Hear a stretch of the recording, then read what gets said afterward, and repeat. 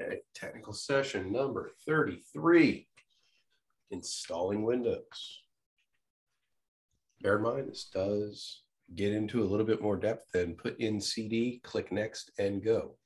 Uh, we're going to be getting into different types of installs, requirements needed to do the installs, and uh, walking us through that process. So, throughout the course of this technical session. We will be able to name the differences between installing and upgrading an operating system.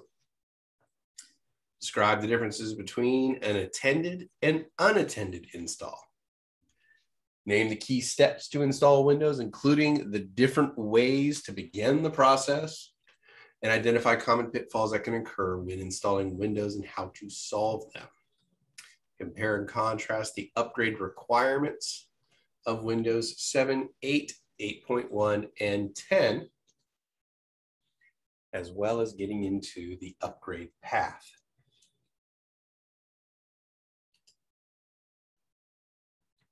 Behavior skills and mindsets you want to keep in mind while going through this technical session or communication, as that is critical because in IT, we work in teams. And there are often times when a problem will supersede the amount of time we are there, and we need to hand that problem off to another coworker. And we need to be able to quickly and succinctly tell them what's going on, let them know what steps we've taken to get there, and what the expectations are of the customer um, as to either getting an update or a resolution on this problem. Also, we need to maintain persistence when pursuing the solutions of problems. Because as IT professionals, our value largely comes from the amount of tools we have in our toolbox. So the more problems we are able to solve, the more valuable we become to the team as a whole. So even if you hand off a problem to tier two or tier three, I highly recommend you follow up with them to find out what um, what they actually did to resolve that issue so that the next time that issue comes up, you will be able to resolve that issue in a pretty efficient manner. It allows you to add that extra tool to your toolbox. All right.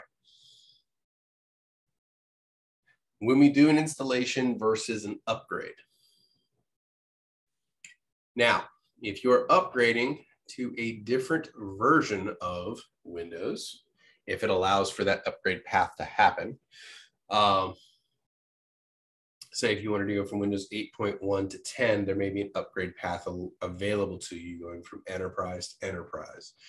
So you, you install it, it carries over all of your applications, your settings, your documents, all that fun stuff gets carried over with it. That would be an upgrade. Clean install means there is no operating system present or no upgrade path available to you. And you're going to quite literally do a fresh install of the operating system. Any previous settings or any documents or any of that stuff will be wiped out at that point for a clean install. It'd be as if you're installing an operating system to a new computer. You have repair installations. If you've had a bad malware attack or um, damaged files or corrupted files or something along those lines that is causing your operating system not to repair or not to work properly, you may be able to do a repair installation where it will go back and find these base files and go ahead and update them in the system so that they match the correct system files as they need to be. And in a sense, removing any corrupted files that were not supposed to be there in the first place multi or dual boot. If you're in a scenario where you want to run Linux sometimes, or you want to run Windows sometimes, or you want to create a Hackintosh, you can have Linux, Windows, and uh, Mike and uh, excuse me, Linux and Windows and Mac OS or OS X all on the same computer. If you have the available resources, you can do that. And that's where the multi or dual boot works in, where you turn your computer on and it asks you which system you wish to boot into. And you can go ahead and boot straight into one of those systems rather than having it predetermined when you turn on your systems. Also, we're going to talk about remote installation. Um, pushing out new versions or installing to hundreds or thousands of computers at a time. If you're operating an enterprise setting, you may not necessarily want to take the time to go through and install every single one yourself. That will take a very, very long time to do. So you can actually set up servers to push out the updates and or operating system installs to the computers themselves, which creates a lot less work for you on the back end questions so far?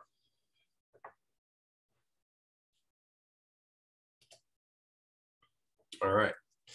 So now we're going to talk about attended versus unattended. And the names pretty much tell you, for the most part, what, it, what they are. Attended means you're sitting there at the terminal yourself, walking through the installation process, answering all the questions as you're being prompted to do, and setting up the systems as you would like.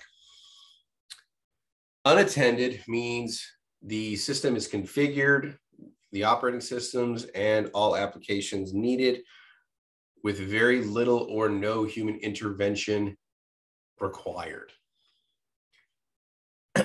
you could use uh, bootable media such as USB to go ahead and boot your operating system from.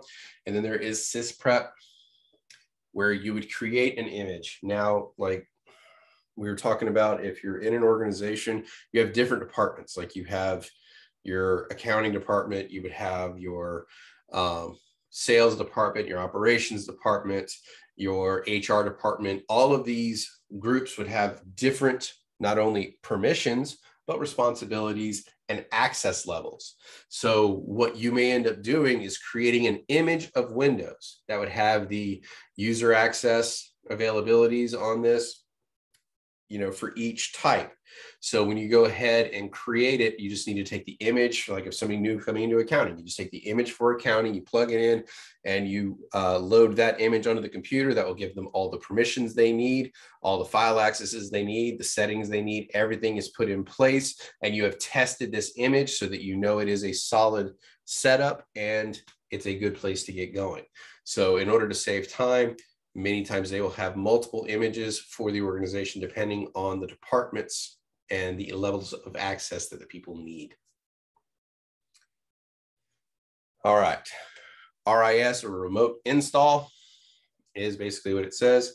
It allows for several network installations at a single time uh, where you can push it out to tens, hundreds, or thousands of computers, however many you need to, and push the operating systems out to all of them rather than you going system to system and either plugging in USB or doing attendant installs where you're having to walk through and answer all the questions. That becomes a very inefficient use of time. So they utilize servers to push that out to all the other systems. All right. Before you do a install, you want to do a final checklist to make sure that your system that you're going to be putting this, this operating system on actually has all like the minimum hardware requirements to be able to handle the operating system you're about to put on it. Um, the next few slides are going to be going over the minimum install requirements uh, for different versions of Windows. Yes, you do need to know these off the top of your head um, because one, it's handy in the field. Two, they ask a lot of questions about it. So Requirements, Windows 7. And notice that they are distinguishing between the 32-bit and the 64-bit. So you can see right here. So for the 32-bit, you need a one gigahertz processor. You need one gigabyte of RAM for the 32 bit. You need 16 gigs of free space, DVD ROM, DirectX 9 with WDDM 1.0 or higher. The rest, mouse, keyboard, internet access, pretty standard.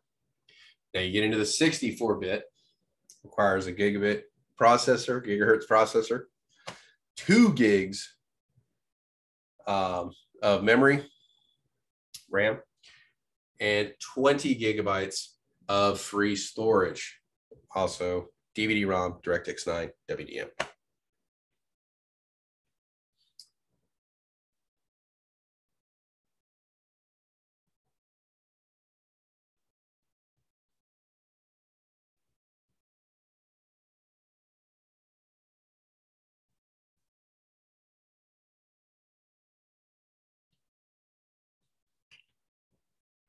Are we good with this? Or do we need another second?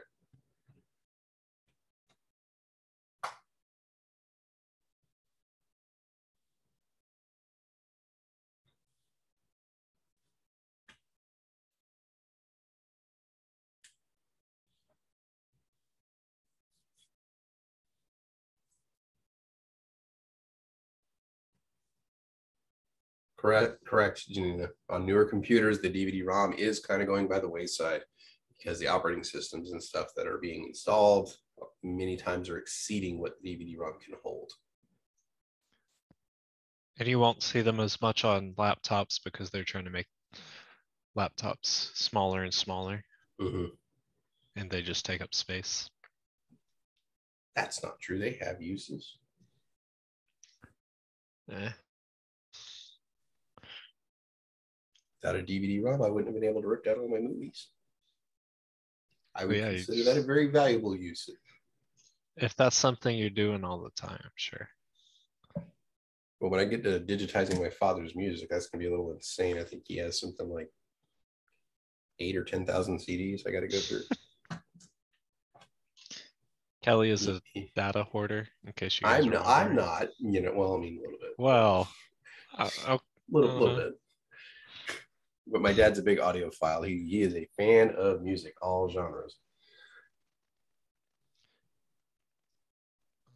can one be added as an optical drive? Yes, you can add it to uh, to a tower as long as it has a space for it.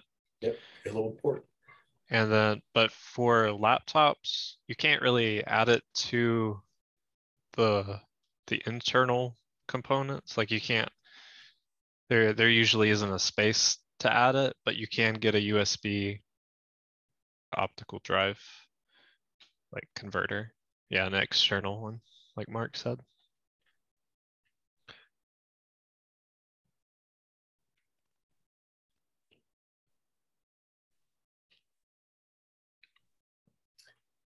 All right, are we ready to move on?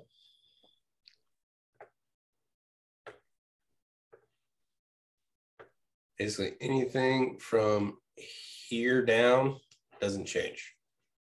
Focus on the top four. Or, excuse me, I'll even go even higher. Here we go. Uh, top three sections are the main ones you want to focus on.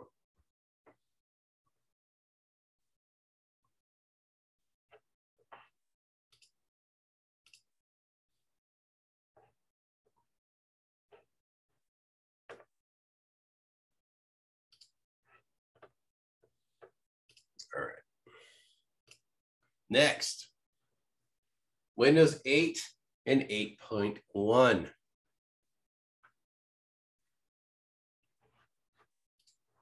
For the 32 bit, you need the one gigahertz processor.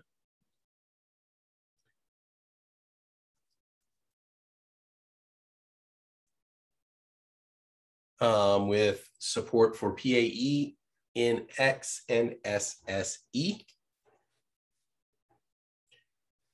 PA's, PAE stands for Physical Access Extension. NX is the NX processor bit, and SSE is the streaming SIMD extensions two. They get into a little bit more detail with this stuff in the books with regards to what they do but understand that on Windows 8 and 8.1, it is a requirement on the processor.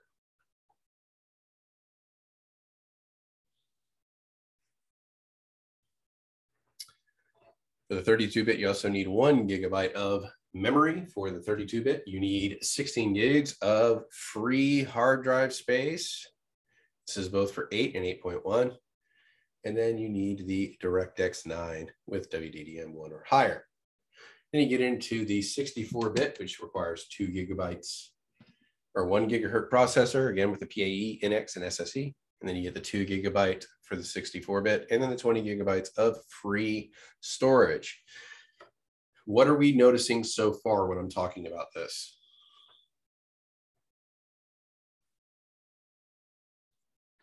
that they require the same uh, processor in 32 or 64 bits? There, that's one thing. What else? Is there anybody noticing anything else? Are the same, almost the same recover requirements for Windows 7? With the exception of the processor. The type, about, yes. It's about but, identical. 32 bit, you have one gig you have one gigahertz processor, one gigabyte memory, 16 gigs of free open space. Mm -hmm. Windows 8 and 8.1, one gigahertz processor, one gigabyte of RAM, 16 gigs free space. 8.1, one gigahertz processor, one gigabyte RAM, 16 gigs free space. 32-bit architecture, your, your numbers are not going to change. You need to pay attention to the slight differences like the PAE, NX, and SSE on 8 and 8.1. But you should be able to rattle off for 32-bit architecture, one gigahertz processor, one gigabyte RAM, 16 gigabyte memory. Main requirements. 64-bit, one gigahertz processor, two gigabytes RAM, 20 gigabytes storage. So we have to remember the type of processor PAE NX SSE. Yes, just remember that that was, if you get asked about that, that happens in 8 and 8.1. That's what makes those unique in their requirements. So when we go up to Windows 10, we don't need that anymore. We just need the one gigahertz processor. And then for the 32 bit, we have one gigabyte RAM and 16 gigabyte storage. 64 bit, you have two gigabytes RAM, 20 gigs of storage. That does not change. That is in accordance with your 32 bit architecture of your chip or the 64 bit architecture of your chip. Now, you can put 32 bit operating system on a 64 bit chip. That is possible. Marvin did it for years. But you cannot put a 64-bit architecture on a 32-bit chip. That's your roadblock. So it flows in one direction. So just overall, remember those requirements for 32-bit and 64. You will see it again, and you will see it often. Are we good with those?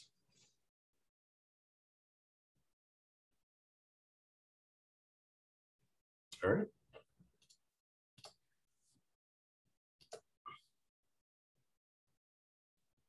A little bit of a quiz. Oh.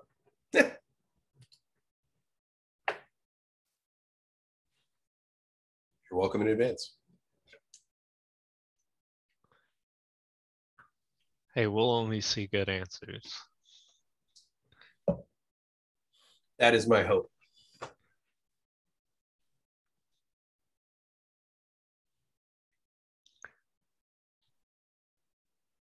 Kelly, just a heads up. There is a pretty bad storm in my area. So if I kind of stutter out, that's Is why. it named Fred? I think so. Because we, we're getting uh, bands of Fred right now.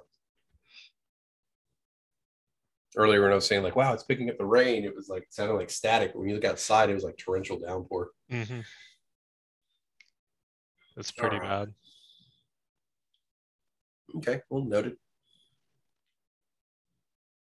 Well, we got lots of no answers. I know, nobody wants to answer the question. Got 10, 10 people in there, nobody answered. Oh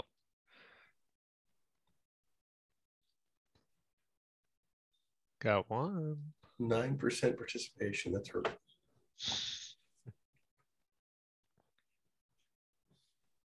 Jimmy needs a link. Let's see.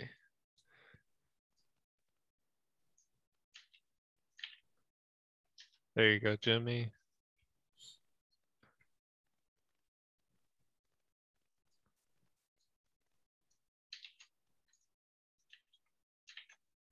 There's our code. Mhm. So across the board, the 32-bit RAM requirements are the same. 32-bit storage requirements are the same. 32-bit processor requirements are the same with the slight difference with 8 and 8.1. And then you can do the same thing with your 64-bit architecture.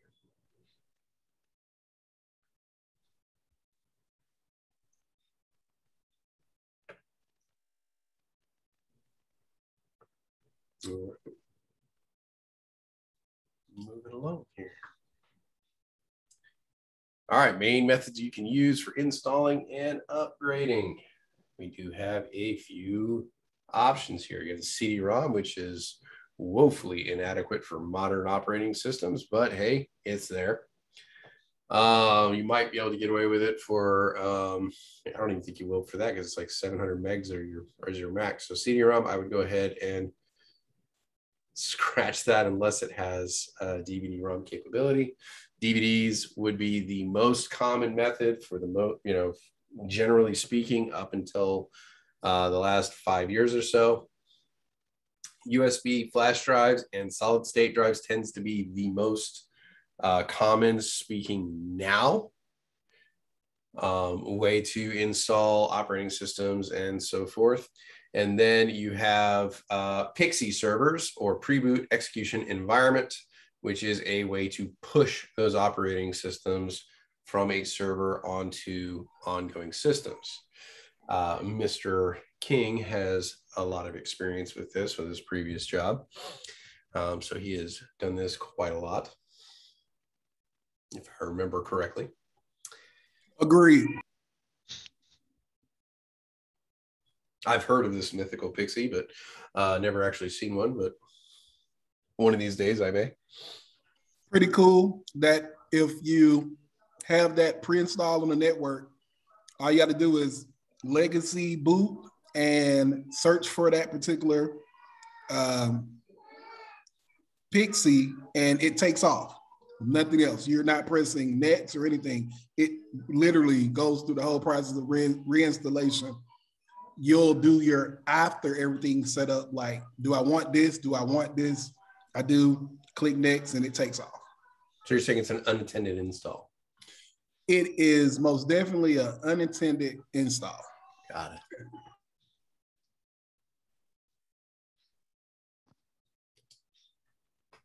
All right. Um, other methods that we can use is NetBoot. Um, developed by Apple, allows you to boot from remote locations, uh, uses your DHCP server uh, to receive the configuration uh, data. And it works similar to the WDS Windows deployment system or service, excuse me. Now you have the external hot swappable device, similar to USB, uh, but a, an external hard drive um, can contain all the installation files necessary. Uh, the hot swappable we talked about earlier allows it to be disconnected without actually turning the system off.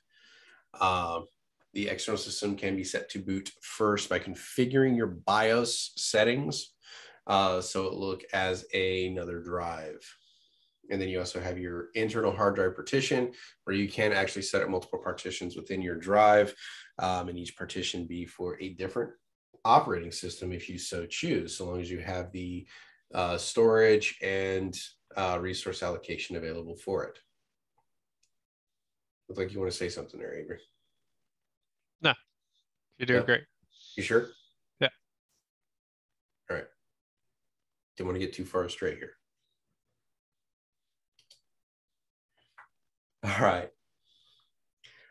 Uh, the boot method or the boot methods for installing and upgrading the key boot files you got to pay attention to your boot manager BCD, uh, WinLoad EXE, NTOS kernel.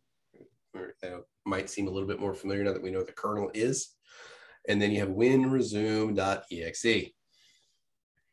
And then the key system files, the hal.dll, just future reference, never alter DLL files. That can create all sorts of bad mojo in your computer if you do. Uh, so try to leave those alone. If one of those is altered and or damaged or corrupted, that is when you would have to do a recovery boot, like we were talking about earlier. It also it also is a vector of attack for a lot of hackers who are trying to corrupt your system. They try to go after your DLL files. All right, SMSS exe, and then you have Win logon exe and LSAS exe.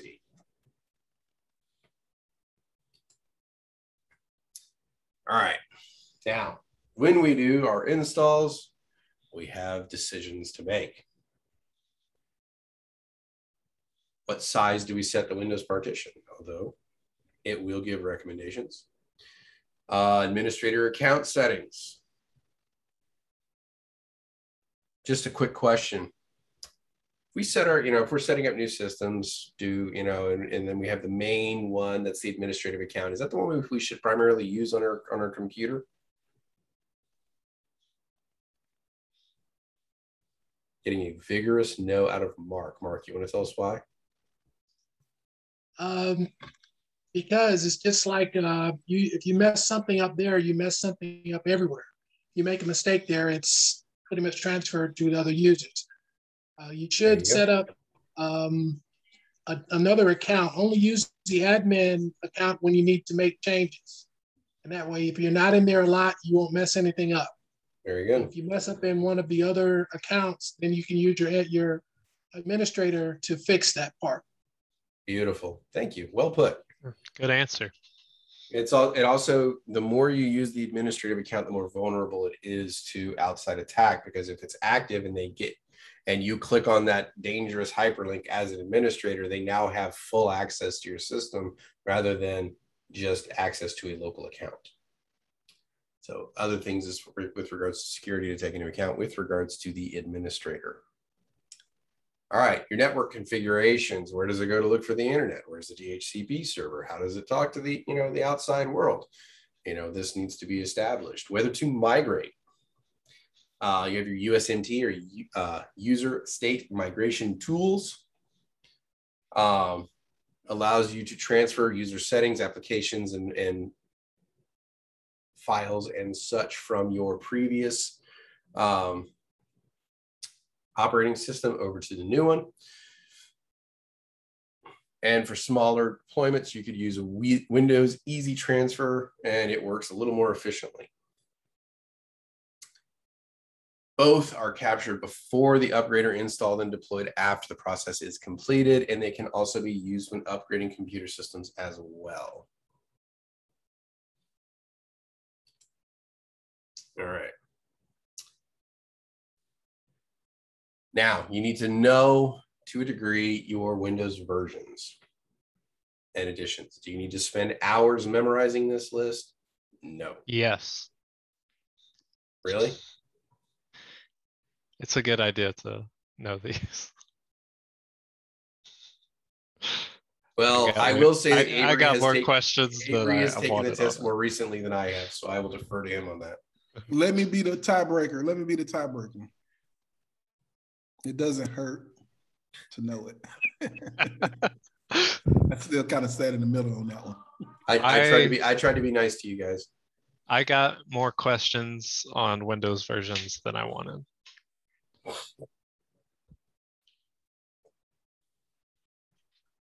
Okay. So at least, yeah, be familiar with them. We'll go with that. And uh, we will get into upgrade paths because you can't necessarily go from Windows Starter to Windows 10, you know, Windows Starter 7 to Windows 10 Enterprise in one jump. It's not going to let you make those that big of a jump. And you can't go from Windows Enterprise 7 to Windows 10 Home. It's not going to let you make that jump either. So we got to know the upgrade paths. Kelly, you want me to take over? Eh, I guess since you okay. since you. I mean, if you want, you're already, you're already, telling me I don't know what I'm doing, so you know. We're, hey, we're if you want to take it, but just trying to. No, I'll hand it over. Trying to save you from embarrassing yourself any further. Oh, that's hurtful. I'm just kidding. All right, so some clean installation steps. Yes, Wait, Justin. yeah, there we go. Um, real quick again, what was the name of that file type? You said Kelly that you don't want to download. So was it DLL? No, I said you don't want to modify it.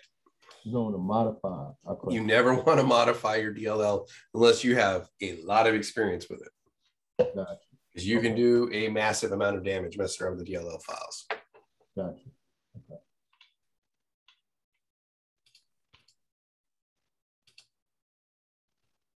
me stop sharing here so Avery can grab it.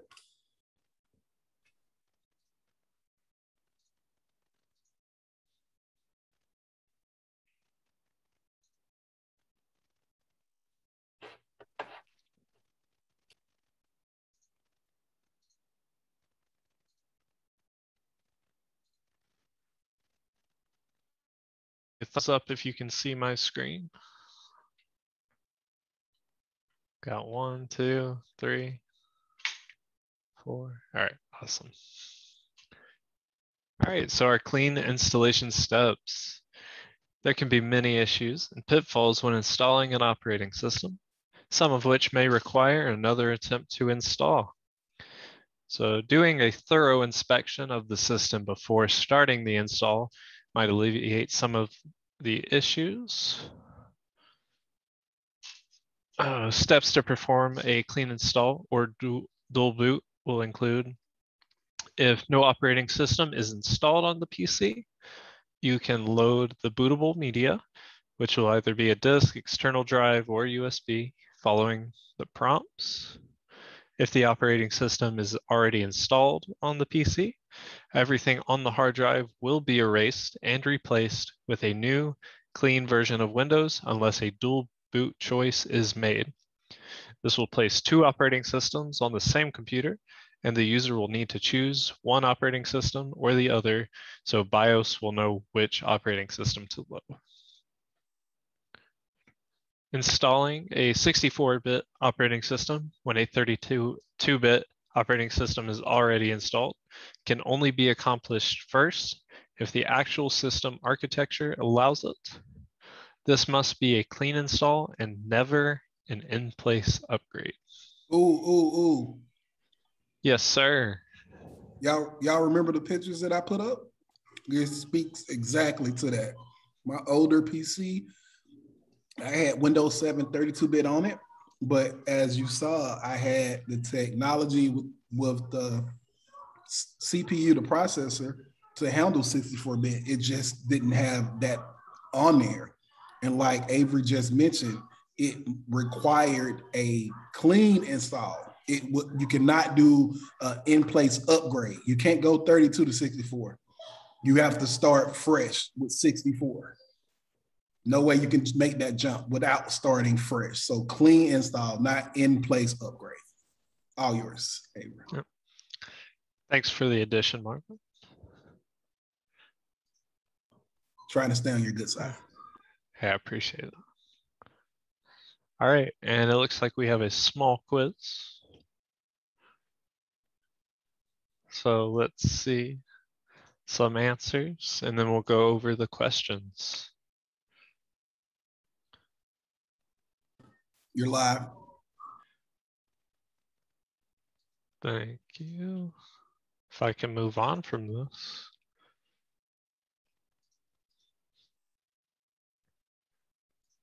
There we go. All right. To the installation. So this is what we're going to do after our Windows installation. We're going to load any of our third-party drivers. We're going to uh, adjust our time, date, region, language settings to match your needs. Uh, you want to make sure you install your drivers, your software, and Windows updates. So if you're just now installing Windows 10, you want to make sure that you have the most recent version of Windows 10. You want to properly format the boot drive. You want to verify that you have a network access. Make sure you activate Windows so that way you can change. Oh, wait, wait, wait. Marvin, help me out here. How do I word this as a question? Let's see. Let's see. Let's see. What what happens when you activate Windows? Look at you. There we go. I just had to talk it out.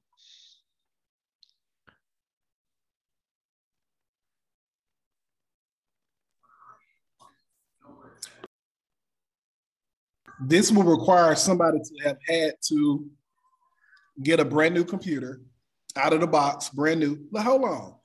I know somebody that's just got a new computer. I'm gonna call on her because she just recently went to Best Buy to get her. Uh-huh, hmm So, did you buy your computer already set up, um, Kaylin, or did you get it out the box and you had to set it up yourself? Out the box, and I had to set it up myself. Okay, so once you got through the process of installing everything, naming it, what what else did it actually do? Um, Um, that's a very vague question. Let me get more. specific.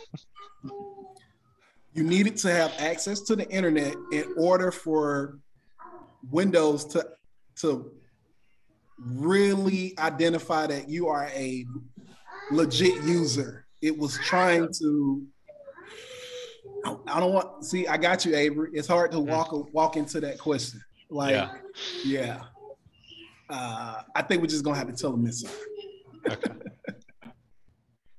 Right. Reason being is because most people may not have had to do that, and I want them to know the the pros and cons behind it. Well, there you go. Mark is my guy. He's gonna he's gonna come into click. So Mark know exactly what I'm talking about. He put authenticate software. So your Windows has a license to it. It's typically that little shiny sticker that's on the bottom of your computer or it's on a desktop. It has a, num- a row of numbers. I forget how many, but we need to get you to go online to ensure that I'm not using Kaylin's uh, Microsoft authenticated uh, code. That's a one-time use. It's just for Kaylin. And the way that they do it now is through uh, internet connection. And that's why I was trying to get to Kaylin. If you had to go through a process of doing that, let's say, for instance, you don't have um, a full version. You just have the ability to use it to install, which I did when I upgraded my my computer.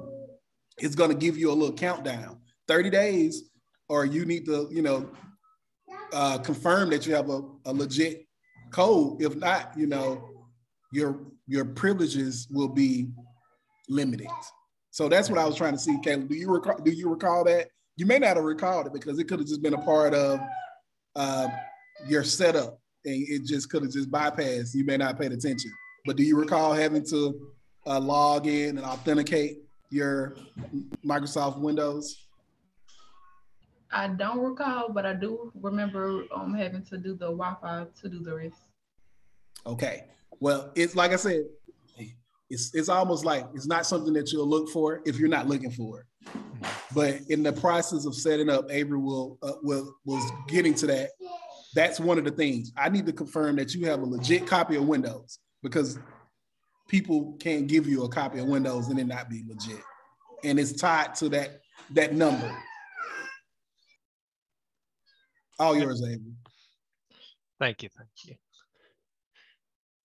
All right, and so after we've activated our windows, we're gonna install updates and service packs. Uh, configure automatic updates, so that way it stays up to date. Uh, we need to install any hardware, install applications, set up our user accounts and transfer the user, user data.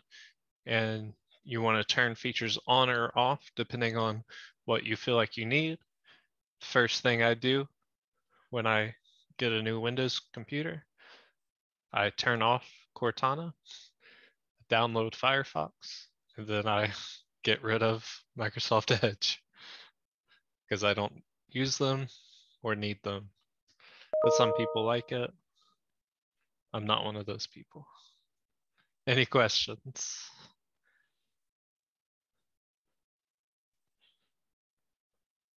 I have one.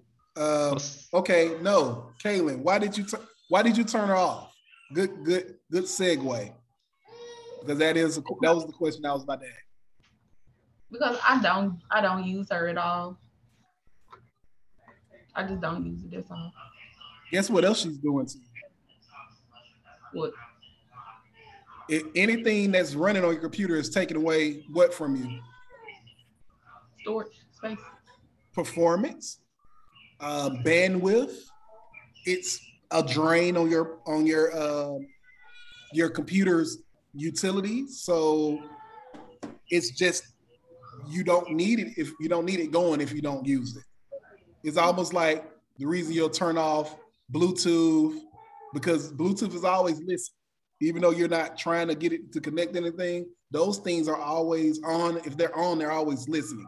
And Ms. Sims brought up an excellent point. When you're draining your resources, you're gonna you're gonna drain your battery. So you got to find. That's why airplane mode is so big in, in in certain instances because it turns off anything that would be draining uh some draining the resources from your uh, your device. Yep, exactly. So you want to disable anything you're not really using. And if you have downloaded like applications or games in the past and you no longer play or use those applications, getting rid of them frees up space that you can use for other of other things. All right, upgrade paths, Windows Upgrade Operating System Advisor. So the purpose, Microsoft created the Windows Upgrade Advisor to alleviate some of the issues that arise when trying to upgrade to other versions of Windows. It will advise on any known compatibility issues. It'll try to resolve some of those issues that it finds and it'll give you recommendations on what to do before the upgrade for planning purposes. So to access it, uh, it was first seen in Windows Vista, but can be downloaded for any operating system through the Microsoft website. So to tell you what you can download to, what it'll look like, and what you can't do.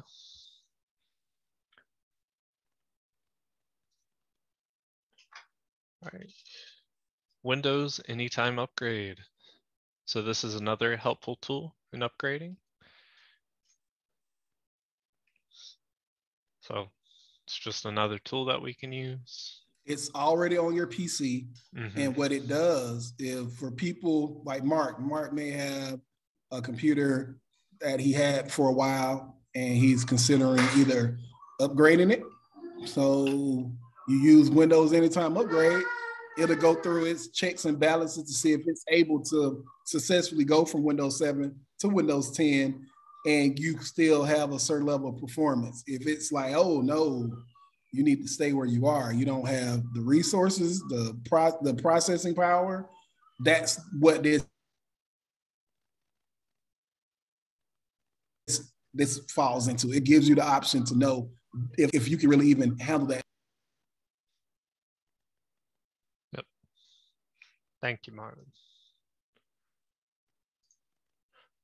All right, so upgrade requirements from Vista to Windows 7. This is a good image to have because it tells you exactly where you can upgrade to.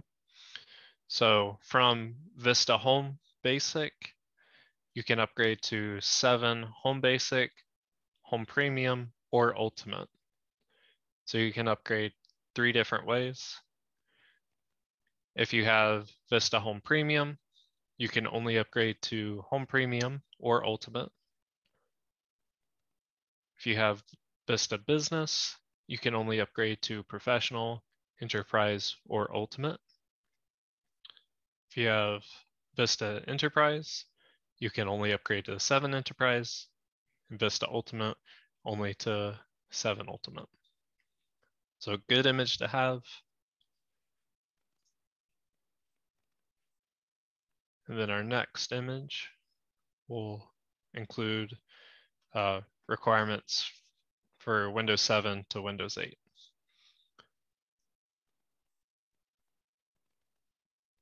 I'm gonna go ahead and move on to that. Feel free to come back to this slide in your studies.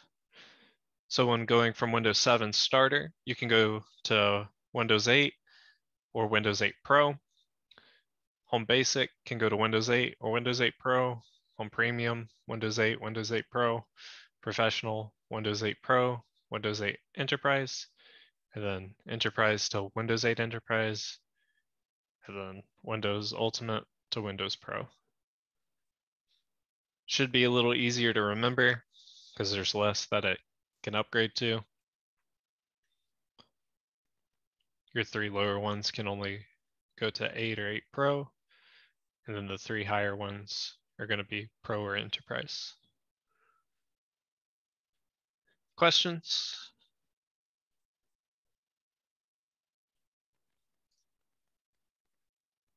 All right, we'll move forward to 8.1.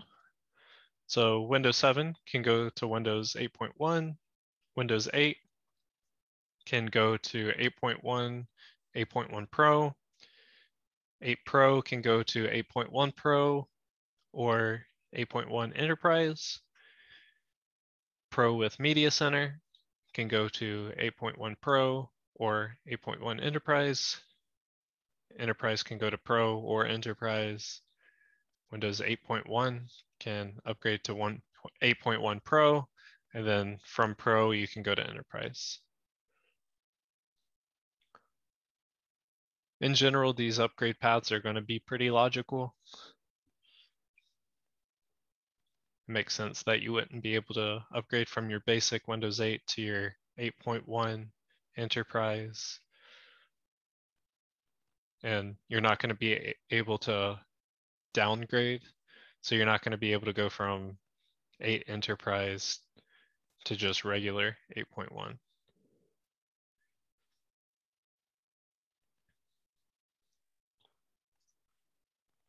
Any questions before we move on?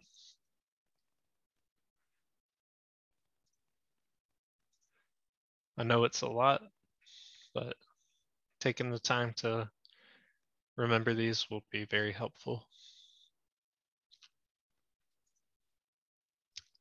All right, upgrading requirements for Windows 10. So this is a little nicer of an image. So Windows 7 Starter all the way to Windows 8.1 Pro, and mm-hmm. it'll tell you whether or not it can upgrade to Home Pro or Education. So 7 Starter, Home Basic, Home Premium, and Windows 8 and 8.1 Home Premium can only upgrade to Windows 10 Home. And then Windows 7 Pro, Ultimate, and Education, and 8.1 Pro can only upgrade to, or well, they can upgrade to Windows 10 Pro, and then 8.1 Education and Pro can upgrade to Windows 10 Education.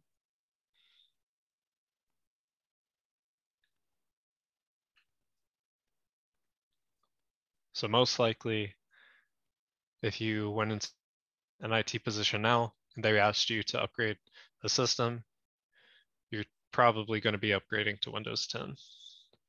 So this will be a good image to have so you can know if you are able to upgrade.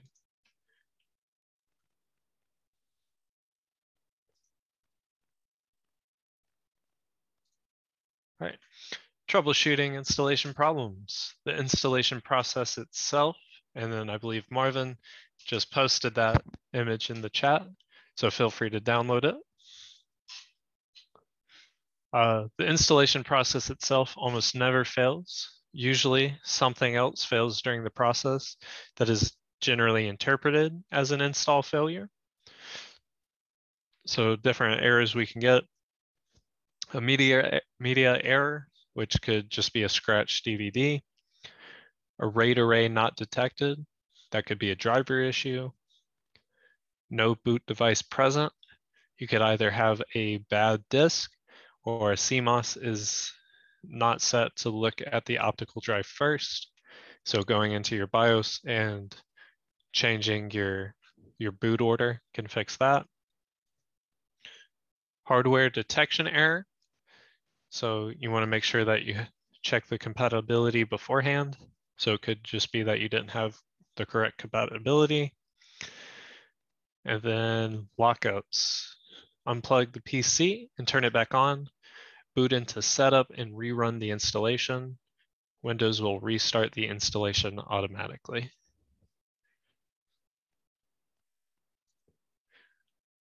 Any questions there?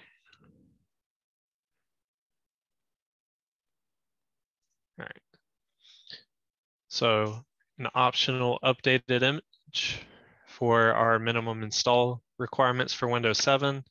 This kind of is a easier image to look at from the ones we saw in the previous slides. So our hardware requirements for 32-bit versus 64, a line processor requirement that your processor is the same. Memory for 32 is going to be one, 64 is going to be two gigs. Hard drive space, 16 gigs, 20 gigs. So good image to have.